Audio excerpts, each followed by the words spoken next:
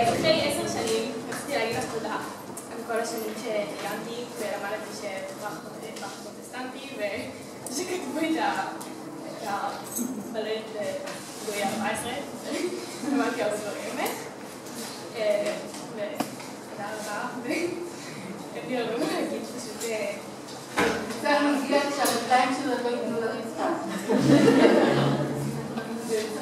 וצמחה וגדלה בכיף, כל פעם נהנית לראות איך את מתפתחת, גם בזכות מגמה כמובן של בית הספר בהוד השרון, ואחר כך ברמת השרון, זה העצים והגדיל ויופי. וכן, את הרגליים שלו ברמה מקצוענית כמעט.